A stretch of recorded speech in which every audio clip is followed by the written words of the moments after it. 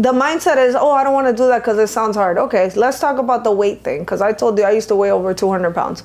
Okay, being overweight was hard and losing weight was also hard. You have to pick your hard. Being broke is hard. Having money is also hard. You have to pick your hard. 100%. Like everything in life is like they Like- think okay at this point no at this point people be trying us and all kinds of things and it is still hard Which goes back to your point earlier. You got to make a decision. so that I don't have to work like that because I Mm. have kids. Okay. And if I have to be like, oh my God, I have a thousand dollar payment and insurance and da, da, da, da, then that means I have to be homeless. Then that means, you know what I mean? I feel like I like do, but uh, no, I think it's gonna light a bigger fire under you. there is no you- bigger fire under my behind There than is there you know you got to pay an extra two thousand dollars for no reason. You know what I mean? And it, and not just that, it's gonna make you feel better too. Yeah. Like I'm the same way. Like I'm I'm a saver. Yeah, I worked at Taco Bell and saved fifty thousand dollars. Like I told that's you guys. crazy. You know what I'm saying? Like I'm a saver to the core, but when you it starts to change that image in your head of yourself when you do get in your nice car Mm-hmm. and you your nice house and you have like I can't chill because of the overhead that I put into my but That's my but thing. it, but it, shows that I'm worth it. You know what I'm saying? And it builds that self confidence. It does a lot of weird mental things that Mm-hmm. I didn't think it was actually going to do. Because I'm the same way. I'm like, me getting a Lambo is not going to make me work harder. It made me work harder for Yeah. sure. You know what I mean? Yeah. Like I'm the same. I was with one of my mentors who does a ton of money, and he's like, "You should get a nice car." I'm like, "No, like I'm, it's not going to make me whether I have a nice car or not. Like I'm still going to work just as hard. I'm still going to wake up at 3:30. I'm still Yeah, going to yeah. do it." He's like, "Get it." I'm telling you though, it's a game changer because at first that makes me feel better. It makes me be like, okay, the work I'm putting in is actually paying off. Mm-hmm. Um, gets me more business. yeah, You know what I'm saying? Gets Yeah, me in yeah. different rooms. Um, I do one ad with a nice car. It's gonna do better than me just talking Mm-hmm. instantly. Just like so I can use it for marketing. So there's so much more benefits that I didn't see Mm-hmm. just because I didn't want to have an extra three to five thousand a month payment. You know what yeah. I mean? No, yeah, But that three to five thousand a month payment is paying off tenfold because first off, it just makes me feel good. yeah. You know, I'm like, dang, I really like I did it. You're like I did that. You know what I mean? Yeah. And then it's like, okay, now I'm gonna, I can't stop. I'm gonna keep going. Like I already did it once, I could do it again. Yeah. It really does a lot. That's why I'm, tell- I'm pushing you to get the car Yeah. it's gonna really make you feel different. Yeah, Is it necessary? Of course not. But the thing that's different from the way you and I are doing it is we're not attaching our happiness to the car no, or to the result. We attach it to the work. yeah. And the car and the all the other stuff is just a byproduct of putting in the work every day. Honestly, because it's when you're working, you're becoming somebody different. It's forging you into the person that now has to drive the car. 100 and Because- it's, it's not a material thing though Yeah. like a lot of people get it messed up like it's not a material thing it's not about that you're right it's you're, you're you're transforming yourself into like hey i'm that guy or i'm that girl that's Mm-hmm. worth it Yeah. you know what i mean Yeah, and to think about it, it does come with the shifting of a mindset because, Significant. like, you know, I grew up in Venezuela, and there was time, and I these were one of the core memories of born mine. there? I was born in Venezuela. Yeah, When you born and here? raised when I was eight. okay i was four when i moved from egypt so nice Yeah, so that was like five minutes ago that you moved here. Anyway, so um, I, one of my core memories is my parents not having enough money to feed me, and I remember they used to feed me the uh, tomatoes with salt. And I, at that time, you're a kid, so you just think you're eating. But now that you're an adult, you're like, my God, I came from nothing. Crazy. And the decisions that I've made over a extended period of time, that my husband has made over an extended period of time, has determined where we are currently in life. Because people just think that it just happens magically. No, your decisions are going to equal what your life looks like. So a lot of times I tell my kids, hey, if you want something, you have to go get it. Nobody's gonna help you. My brother actually told my daughter, Natalie, now that you're about to be 18, nobody gives a crap about you. And you gotta go out there and make it happen. And I was like, damn, Cam, And you like, know what's the best about that though that's so that's so freeing Yeah. and like that's so that's a good feeling to know that hey you're in control You're in the driver's seat, man. You are in control. A lot of people take accountability, like Rosa, that's her fault. That's her fault. Like no, Yeah. anything that happens, like I, I take extreme accountability to the point where it's super delusional. Like if my house were to get hit by lightning, I would be like, damn, I shouldn't have picked that house. Yeah. I should have picked the next. Like that's the level of accountability that I take for myself in everything I do in my life. So Yeah. someone's unhappy or something's wrong or whatever the issue is, I'm like, okay, what could I have done different? Yeah. It's it's that high level of accountability that puts me in the driver's seat and puts me in control of my life. That makes me be like, hey, I, I can do it. Like I'm. Yeah. It's it's up to me whether I'm going to be happy or not, successful or not, winning or not. It's up to me. No one else. There's no outside circumstances that's going to mess up my path to being the person I want to be. Yeah, and to touch on that as well, a lot of people are like, well, when I was growing up, I didn't have it like that. So that's why they use their past as an excuse of why they're not hitting their goals and they're not doing what they're supposed to be doing. Listen, if I was to sit here and tell you my life story, people would be like, that is the underdog story of the year. Right? I was, in my family, I was deemed the black sheep. Like, oh, this That's girl's gonna destroy. Shut up. I was, are you being sarcastic? yes, I'm being sarcastic. What do you mean? Anyway, and so they were like, "Oh, this girl's gonna destroy her whole life with her own hands." But one day, I just made a different decision, and I continued making those different decisions. And I look back, and I am the most successful overall. Like I've been married for a very long time. Yep. I all my children are with my husband. You know, I I've done things that other family members were not able to do and I am the most financially successful. Why? Because I made different choices. We grew up with the same family, the same, you know, everything. So what does it take? It takes for you to be to think differently than the rest of the family, right? And so I think that people use that their past as an excuse, but I use that to fuel like that's what how I'm not gonna keep going. 100%. And the thing is, like, like, why do you think rich people's kids usually end up losing all the money for the family, Listen, or they bro. end up being drug addicts or whatever? It's because your past, my past, like hard things. Yeah. Like, what's the saying? Like, you. hard people or hard times make soft men. Soft Yes. times make, or whatever the men. saying is. You know what I'm saying? Like. You have to go through hard things, even when you do get. I was literally listening to this this morning. Mm. When you get to high levels of success, you have to do hard stuff Mm-hmm. Yeah. or else you're gonna just you can you have the luxury of being comfortable you know you have the luxury of just chilling hanging out like you, you have to do hard which is why i wake up every day at 3.30 a.m Yeah. which is why i kill myself in the gym every day which is why i constantly learn and grow because if i wanted to chill i could chill but that can only last Right. so long Yeah. until you're just you're unhappy start losing your money you start getting bored and bad things come from being bored. Yeah. doing bad stuff comes from just being bored. Drugs come from being bored. Do- whatever that that's from boredom. So if you keep yourself busy you stay on top of things stay grinding like you can't get bored and you you're gonna keep progressing through life Yeah, and listen, and it's okay. Like people are so afraid of doing hard things. Listen, they don't I- do enough of it. So they, but hold on. Like the mindset is, oh, I don't want to do that because it sounds hard. Okay, let's talk about the weight thing. Because I told you I used to weigh over 200 pounds. Okay, being overweight was hard, and losing weight was also hard. You have to pick your hard. Being broke is hard. Having money is also hard. You have to pick your hard. 100%. Like everything in life is like they Like- think okay at this point no at this point people be trying us and all kinds of things and it is still hard which goes back to your point earlier you got to make a decision make a decision on What's what you want your life. So yesterday there was a table I wanted built. My husband wasn't home. I'm in my soft girl era. I'm not building it. Guess what? Who's the next in charge? My son Liam. I said, hey man, come over here. how old is liam He's 11. i just wanted people to know yeah yeah, yeah. He's 11. I said, I need you to put this table together. He wants to be an engineer. He's wanted to be an engineer already for like five years. yep shouldn't have told you that you better put him to work Correct.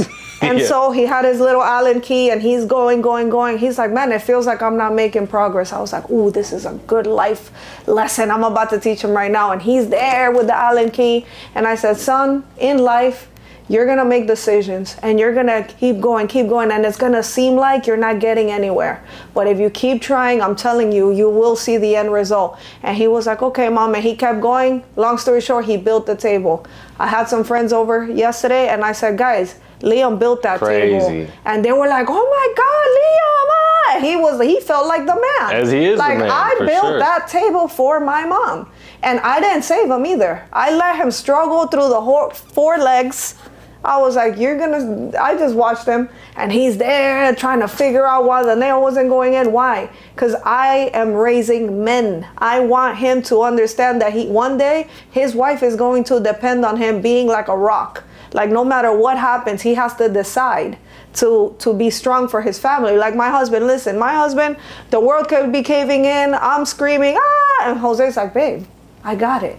And when he tells me I got it, I know he got it because he's built that that story with me, sure, right? And so because of the decisions that he has continually made over the course of our marriage, I have that trust that he got it. And he always does. And so not being afraid of doing hard things and people like resist change. And let me tell you, I am not one that loves change. Yep. I like structure, and when things have to pivot, I have a hard time internally. I still do it, but at that moment, I'm like, okay, this change is going to benefit me. And then I have to shift my mindset into, okay, we got to pivot. And success, you got to be resourceful. You got to be willing to shift. You got to have like that new mindset. You got to learn to be okay with doing hard things. And I heard Alex Hormozi, is that his name? Yeah. That fear is a mile wide, one inch deep. hmm. And that is so true because we think that it's like, oh my God, we're gonna die out here. No, do it scared, bro. Do it scared. It's gonna happen. The return on that. Listen, this whole thing of me building this company, I've had to make some decisions that have Sure. scared me. Working But with me scared working, you. yeah, like I was know? like, what if he, you know, takes my money? For sure. All of this stuff, but I knew I was like, no, I have to. Back to your point I about fear, to. though. Courage isn't um, Absence of fear. absence of fear. It's in spite of fear. Mm-hmm. In spite. You know what I mean? Like we, we're scared every day. Every day, bro. you know Anything it- can happen. and a lot of people think like once you get to a certain level it's less scary if anything it's, more scary. it's more, scary because the risks get bigger and, and bigger more and people bigger. rely on you it's not just on you anymore it's not Yeah. about you paying your bills it's about everyone else paying their bills so it's like it gets it only gets harder like even in the gym like you don't get it doesn't get easier the weight doesn't get lighter you just No. get stronger Yeah. You know but it's still you got to keep going up in the weights You gotta keep going. and it's still heavy as hell every single time. But I'm building that resilience, those calluses to be able to overcome anything. yeah. You know? Yeah, and it's the power to overcome. Like, okay, no matter what comes my way, that mental toughness, I feel like, at least here in America, we're almost like programming people to be weak in the mind. And for me, I don't, in my house, I'm like, no. I don't I don't vibe with that and I don't want my sons to come under that sway of like, oh, we have to be this way because everybody else thinks that that's what's acceptable. Hey, to each his own. But in my house, I want my sons to stand up and to think for themselves and to make decisions and to do things scared. That's why they're in jujitsu. I asked Liam yesterday, I'm like, hey man, how'd it go in jujitsu? He's like, man, I got my butt whooped. Nice. And I was like, good. Why? Because the next time he's gonna go and he's gonna do what he gotta do, right? For sure. And so, but the week before that, he earned the stripe. Yeah. So he had a win. Then what happened? Life crushed him, and then he's gonna have to now bounce back. And I didn't. uh, I didn't do that. Mm-hmm. I said, okay, so get better. You don't like to lose? Get better. Yep. And he was like, I am, mom. I'm like, okay. A lot of people have this discussion. I wonder what you think. Is it do you like winning or do you hate losing? Hmm. I don't like to lose. yeah, lot- you notice that with a lot of high level people. I don't like we don't like losing. We don't winning's cool, but it's But losing, no. ugh. oh my god. Like I like, Yeah, I think that's that's a shift that I realized. Like I really just hate losing. Yeah. Just not getting what I said I'm gonna do done. Yeah. Like I, winning's cool, but it's not. I care about not losing. Yeah, and for me, I'm very like tactical. Like when I have something going on, I don't stop. Carolyn will tell you, I am like a pit bull with a bone in my mouth. Like this is going to until we see the end and we finished. This is what we're doing right For now. sure. And the ability to have a plan and then the strategy to execute and then see it through all Mm. the way to the end. That's where people they have like, oh, I, I have this goal, and then they don't have a strategy on how they're gonna get it done.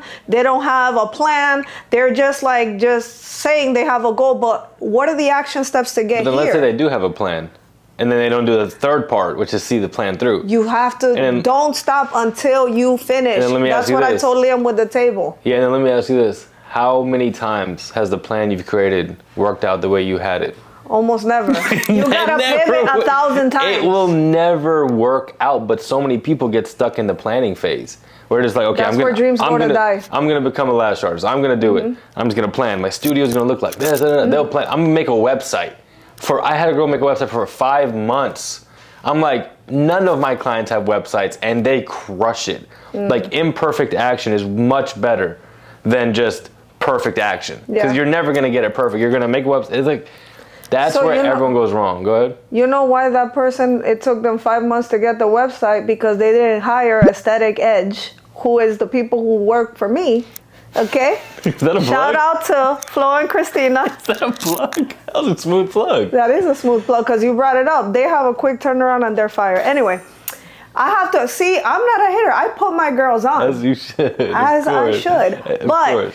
The ability to see something through, because everybody just focuses on the excuses. Like you were saying, oh well, my kids. Oh, I don't know if I could still be successful. That one hurts me the most though. I don't have kids right now, but like kids aren't an excuse. They're the reason. Yeah. They're not an excuse. You know why? Because Natalie's like, mom, my tuition is due.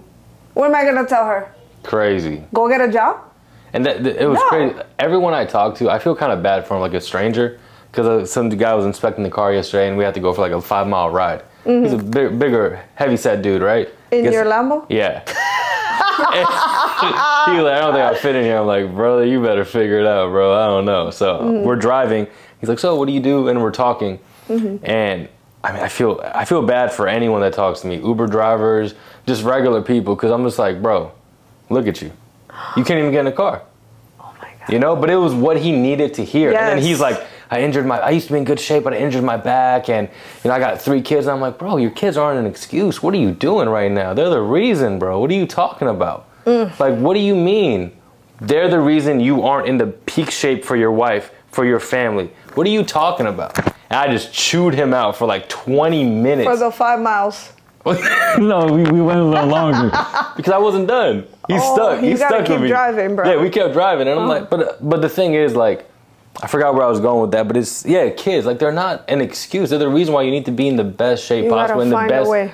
you have like I that one I will not yet So understand ever. you find a way.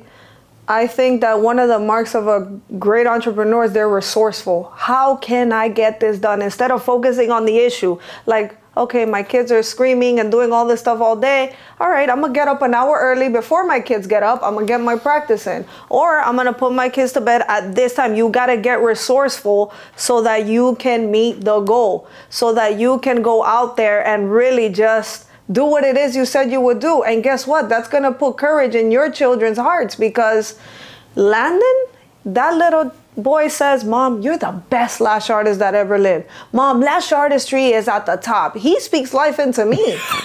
he does. Yeah, yeah. Right, Carolyn? Listen, one day he came in here and I don't think it clicked for him that I'm the owner. Mm-hmm. And one day he's like, Oh, I forgot what we were talking about, but it came up that I pay the rent here. Mm-hmm. He goes, Mom, you pay the rent here? I was like, Yeah, this is mommy's. And he and I said, This is ours, because it's for our family. Yeah. He goes, like his chest got a little higher. He was like, Oh. Wow. That's why he didn't say hi to you when you came up He in here. He straight punked me. He straight punked you because check he's like. Who's this? he said, Who, Who's this? I gotta check in though. Yeah, now Like, you yo, gotta man, I'm check here, homie. Like, hey, we good. I don't want no smoke, but that it creates courage in your children to see that you saw it through. Key right there. Kids don't say as you say. They say as you. What is it? I keep They messing up all my quotes no, no, today. no, no. So they are gonna watch you, Yeah. and not what you say to them is what they'll do. Is what they see you Yes. do. Is what they're gonna replicate. My daughter is an overachiever. This girl, if she gets a B, she's like, "Oh my God, this is the worst." And I'm like, Natalie, did you do your best? Yeah, but that's not the grade that I wanted. Why? Because she sees that's how I am. Yep. So that she doesn't accept failure. She doesn't accept anything other than.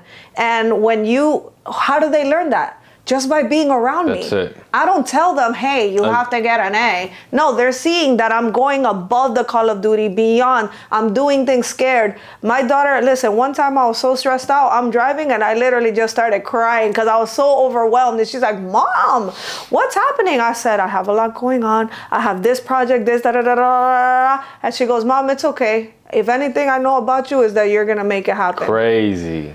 How does Why? that make you feel? Great. I stopped crying at that moment. Yeah. Why? Because I That made me cry more. Like, you know why? Because I built that confidence in their hearts that I'm gonna do the hard Yep. things, that I'm gonna do what it takes, that I'm not gonna use it as, as an excuse, that I'm gonna continue to push and push and push until the expected end, which is what the heck I'm trying to do. And it, it's been hard.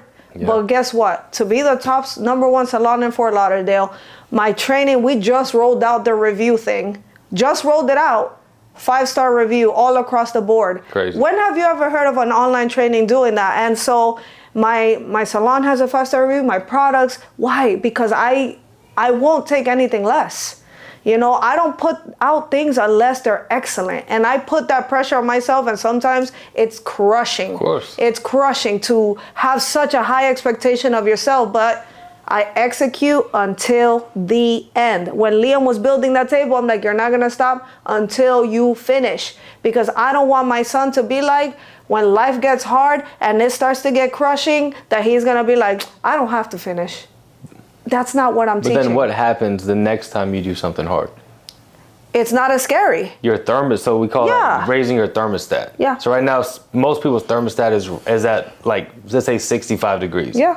You do something a little hard, now it's at 67. Correct. And you keep raising that thermostat. So yes, what you might have been crushed at 69 degrees, Mm-hmm. but now it's going to take 77 degrees to crush. You have to constantly raise your thermostat, and one way to do that and to speed that up is to get around people's thermostats are raised. Correct. You know what I'm saying? So if I'm tripping on buying um, a half a million dollar car, I see my boy buy a five million dollar car. My thermostat is through the Yeah. roof. I'm like, oh, okay, Yeah. cool. So now I'm able to operate at that high level. Correct. You know what I'm saying? So you are raising the thermostat for your kids. So now they're It around all they're around all these little softies in college or high school. They're just like, look at these punks, man. I'm about to smoke bomb. That's what I think. Yeah. When I look at my peers, Yeah. people around my age group, even older people to be quite honest, but Mm-hmm. like I say people around my, I'm just like, you guys are still drinking? How old are you? Like you guys are still clubbing? what are you doing? Don't you have goals? Don't you have things to do? Yeah. It's so hard for me to relate to people and talk to people. I was talking, I was telling you about I was talk, talking to some girl, right?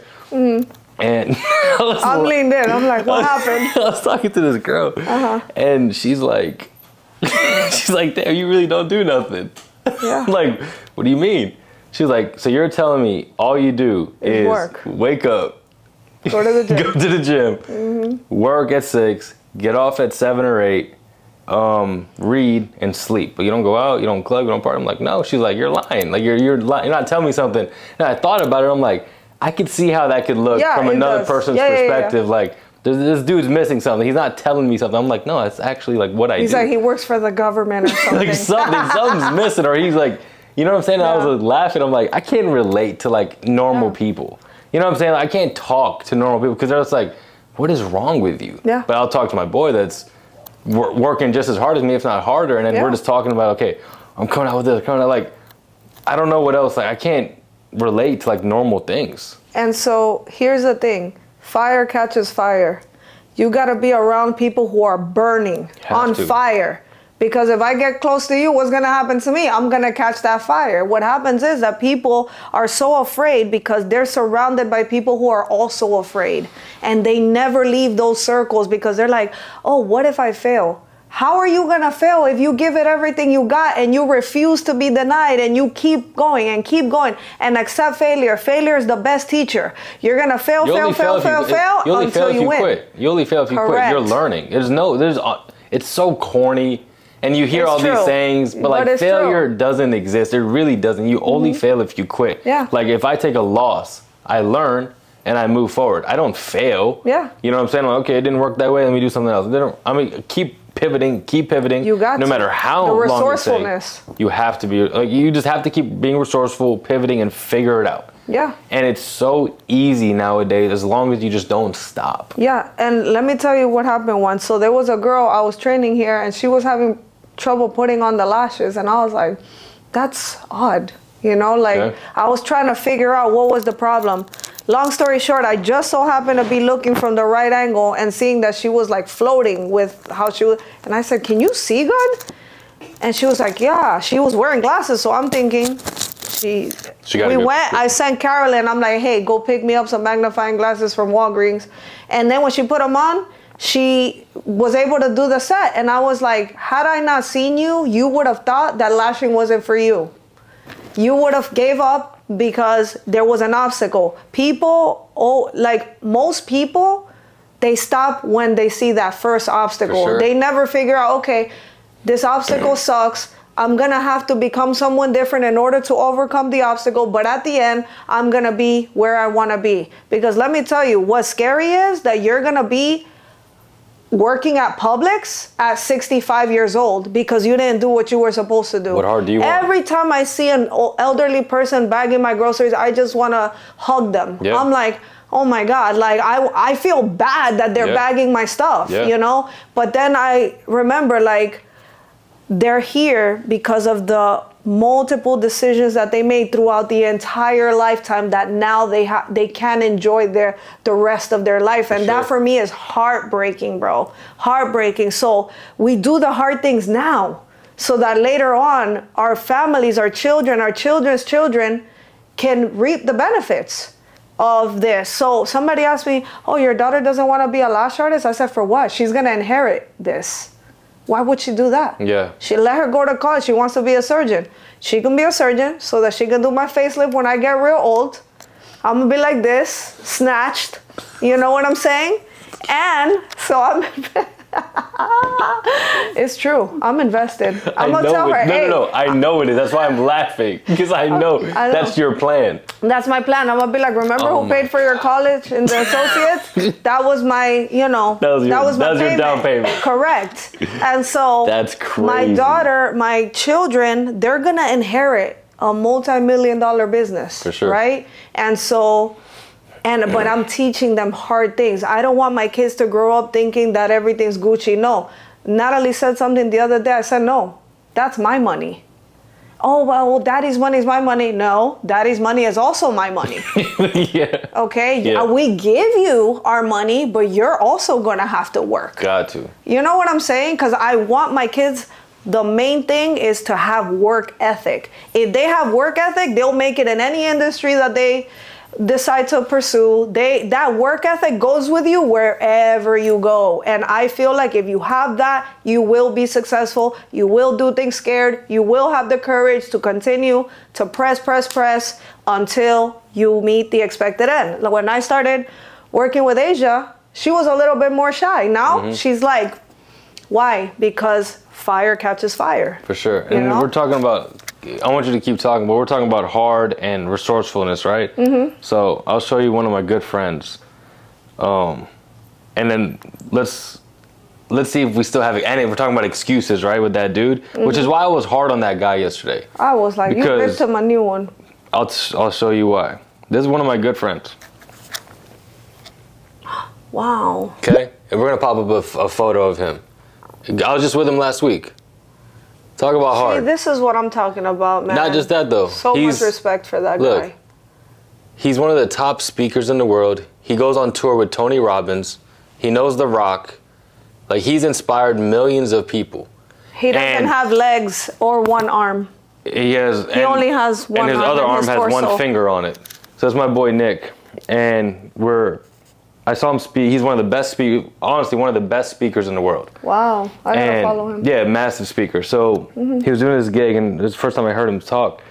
And earlier that day, I was tripping on Facebook, Mm-hmm. and I'm, you know, I do ads, right? And my accounts weren't working. I'm just like, why is this happening? This sucks. Mm-hmm. I hate Facebook. Just the biggest victim in the world. Oh God. You know, this is like six months ago, six, Yeah. seven months ago. None of my accounts were working. It was just a big headache with Facebook. I'm like, why? Then I went to go see my boy Nick speak. Mm-hmm. And I'm like, man, I am so soft. Mm-hmm. He has no legs, no one arm that has one finger on it, his other arm doesn't, you know, it doesn't have an arm. And I'm just like, I'm tripping about my Facebook account's not working. And then when he was speaking, he said something that really, we, we talked after he spoke, I said how good it was. And then I'm like, bro, I was going through my Facebook stuff, and then he was like, instead of asking why is this happening to me, like, what's the gift in this? Because he could have asked himself when he was growing up, why did this? Why did God make me like this?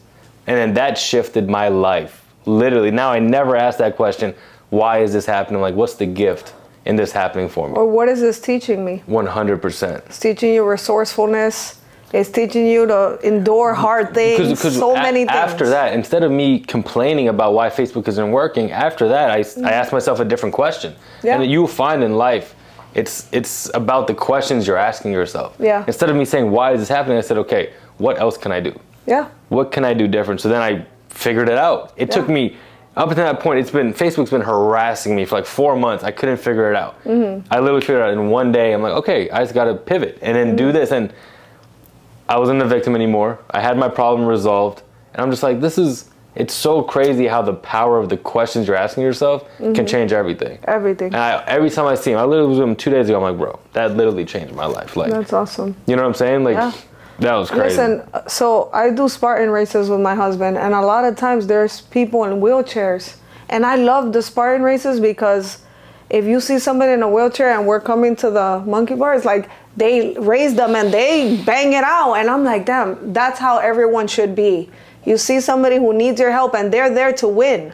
They're there to Yeah. finish. Yeah. No matter what their obstacles are, like, oh man, maybe they don't have legs or whatever. Like, that doesn't stop them. I love seeing people like that. It lights a fire in me. I'm like, man, if they can do it, there's sky's the limit. And Which- I love that they don't use their life as an excuse. Which I is what that. makes me mad about that guy yesterday. I'm like, bro, you're so healthy. You have everything going. You have both your legs. You have both hands. You have a beautiful family. You have everything going for you. And this is how you decide to show up. This is your decision in life. When this guy has no legs, no arms, decides to speak with Tony Robbins, be one of the highest paid speakers in the world, that's the decisions he's made. And this is the decisions you made. Wow. Fuck that. I'm not accepting that. You're way better than that. And sometimes it takes someone to see more in yourself than you see that's going to make that shift for you. Yeah. I guarantee that guy's going to change. Oh, I for guarantee sure. For sure. There's no way he's not going to think about No. me for the rest of his life.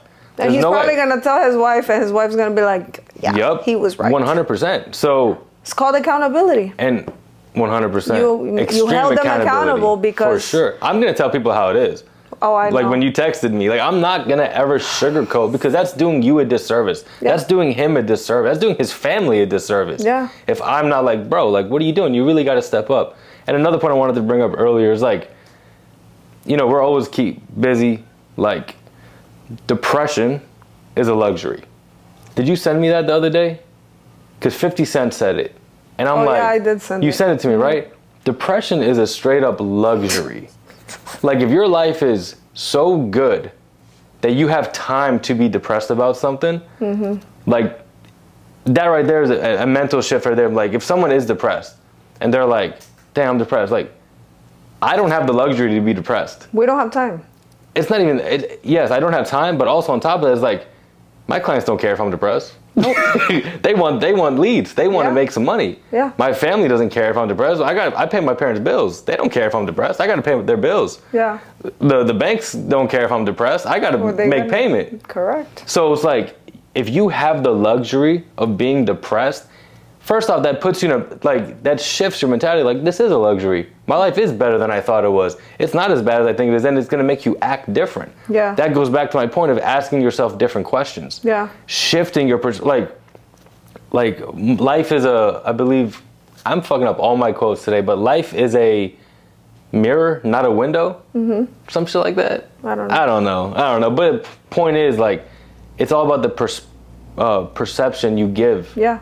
Whatever meaning it is. Like Hormozi talks about all the time. It's Mm-hmm. like, what meaning are you giving behind those words? What's the meaning behind what's happening in your life? Yeah. If you can make that mental shift, your life Yeah. can change drastically. And you know what? Also, let's talk about the whole victim thing. I think you brought up that For up. sure. I was massive victim. Let me tell you something. That is one of my biggest pet peeves in life. When people act like they cannot get ahead because somebody did. Listen, like I told you earlier, if I told you my story, you'd be boohoo crying right now. Yep. I just refuse not to be that. I'm not that. How about that? I'm not that. Yep. I'm not a victim. No matter how many people have burned me, how many things I've had to endure, how many things I had to overcome in my life, I am not a victim. And that's how I decide to show up. I am a winner. And what do winners do? They see things through. They don't have excuses. They do the hard things. They go past where most people are and all of that. And that mentality is what I'm imparting into my children. You're a winner. And winners do hard things. But guess what? Winners finish. There is an alternative universe where there is a Rose that decided to make the other decision and decide to make her past be the re- the excuse why she's not where she wants to be. There's two roses right now. Where's this alternative universe, It's a different universe. I don't know, but there's two roses right now, and that's honestly that's a lot of people though. Yeah. A lot of people. There's two. They have two paths in life they could choose. This is You Rosa here, choose. Lash Artistry. She decided she had a bad past, right? A bad history. You could either use that to, to be the reason why you went this direction or that direction. There's a, okay, um, two kids grew up together, and their dad's their dad's an alcoholic. Okay, one kid said, "My dad's an alcoholic. That's why I'm never gonna drink." The other kid said, "My dad's an alcoholic. That's, Mm-hmm. That's why why I'm an alcoholic." What decision are you gonna make? yeah. You know what I'm saying? So it's like you said, to circle it all together. It's decisions. It's about the decision you decide to, the decision you make in life, the decision how you look at something, the decision what meaning you put behind something. It's just one decision. That guy that I talked to yesterday, he's gonna make the decision Mm-hmm. that's gonna change the trajectory of his whole family's dynasty. He's the one. He's the one. He's the one. You know what I'm saying? Mm-hmm. So Let me tell you something about that. So when you know I homeschooled Natalie. So when we were about to start the high school portion, I said, okay, there's three paths for you. If you want to go here, here, or here. This is the hardest path, which was, you know, Nova and all the stuff, whatever. And I said, if you do this path, we're not it's not gonna be as rigorous. If you do this path, it's gonna be a little hard. If you do this path, you're gonna have, you know, Harvard, Nova, this, da da da, all those top schools. Do you know this little girl chose the hardest path? good. And that's what I'm teaching my children. I feel like, yeah, I know you're not a parent yet, but I'm sure that when you do have kids, you're gonna have the same mentality because I wanna set them up for success. Yeah. I don't want them to clam up when things get hard or when they fail at something or all of that. It's so important to impart that not only to your children, but to your friends. Like, me and you, we're very blunt with each other. We're very honest. Like, Carolyn will tell you, I'd be like, girl, what we got going on? Asia, the same thing. Why? Because one of my mentors says this all the time love demands excellence and if you care about that person you're gonna tell them the truth just like you did with that guy that guy's gonna go to the gym probably this week He- right This And week, then- you know I don't work like that. He went today. he did He better. I'm gonna check in on him. okay Yeah. call me and let me know no but you know it took you stopped for the one right because we don't accept failure we don't accept and to you know the bottom line of this whole podcast is you get you get to get to highlighted to decide where your life will be in the next 5 years you get to decide what school your children are going to go to. You get to decide if your kids are going to have to get three jobs to pay through college or you're going to be able to financially help them. You get to decide if you're going to pay for your daughter's wedding cuz my daughter's wedding is going to be fire. Yeah. she's gonna have if she you want you want an elephant? I got you. You want some doves to pop out? I got Done. you. Yeah. okay?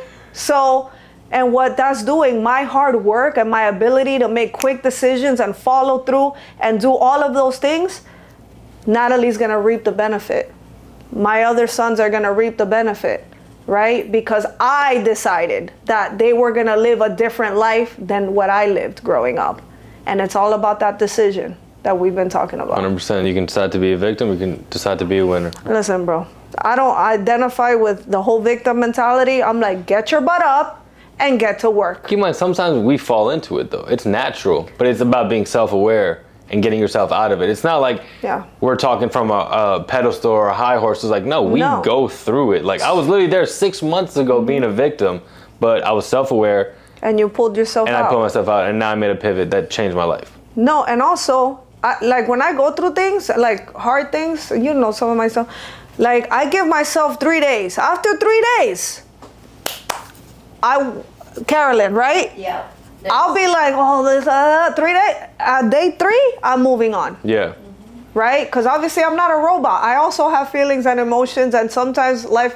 I give it punches five you minutes. Right in the face. No, you didn't, because you just said the Facebook story. That was a problem. No, that- no. no, no, You no, just no, no. your homeboy had to come and tell you you had to go. But I wasn't heard tripping whole about it. speech. Like I, w- yes, you were. I was a victim about it. Yes, That's tripping. But I wasn't like. Don't don't take it back now because we, got the footage.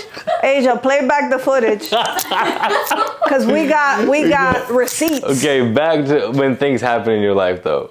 I give myself three days and I move the heck on. Yeah. That's it. That's my thing. Three days, and I move on.